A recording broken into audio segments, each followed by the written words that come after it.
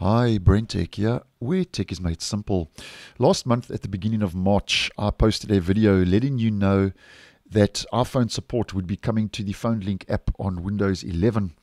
And when I did post that video uh, in March, um, was rolling out to uh, all three Windows 11 Insider channels. So it was available in preview and was an early preview of PhoneLink for iOS on Windows 11. Now, I'll leave a link to that video in the description uh, if you would be interested, because it will give you a lot more info. But just to let you know that um, if you haven't heard and you have an iPhone and an iOS device, that on the 26th of April, Microsoft has announced now that um, iPhone support is now available um, in the PhoneLink app on Windows 11 for all Windows 11 users. So it's not available only in preview, like I posted previously, but is now available for all Windows 11 users. And as many of you would know, um, up until recently, before this um, announcement, uh, the PhoneLink only supported Android devices. And now, if you have an iPhone, you'll be able to sync your device with your Windows 11 PC. Now, just a quick recap for the purpose of today's video. Um, PhoneLink for iOS basically lets you connect your iPhone to your Windows 11 PC as mentioned.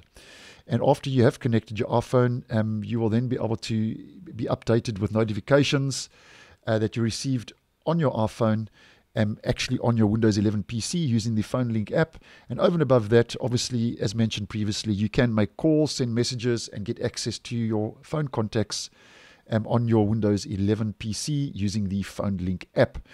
Now, um, how you can actually connect your device, um, just to um, walk you through that process once again, because I did cover that previously, but just to keep you updated and in the loop, so to speak, um, how you can set up your PhoneLink app uh, for iOS with Windows 11 is obviously you would, if you haven't got the PhoneLink app on your device, you would head over to the Microsoft Store where you can download and install the PhoneLink app. And then you would have to enable um, Bluetooth on both devices. So that would be um, on your Windows 11 PC and your iPhone.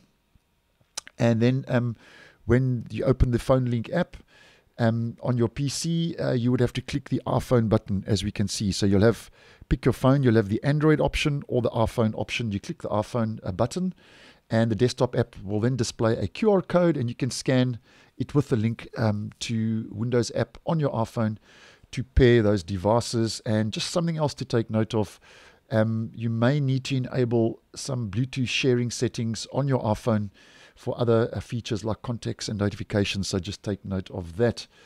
Now, um, some other things just to remember um, and just to take note of. There are some limitations to what you can actually do with this feature.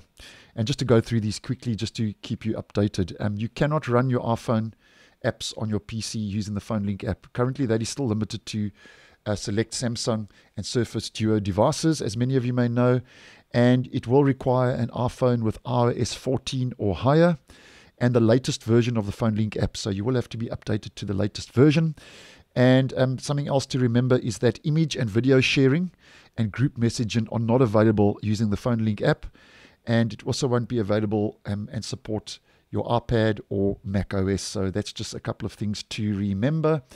And currently, um, this is on a controlled rollout. So Microsoft, in their announcement, uh, did say that um, if you're not seeing the feature as yet um, on your PhoneLink app, that it will be rolled out gradually using a phased controlled rollout, which um, will be completed by mid-May, according to that announcement by Microsoft. So if you're not seeing it over the next few days, I'm sure that you will be getting it sooner than later, working its way using that controlled rollout um, into mid uh, May next month. So thanks for watching, and I will see you in the next one.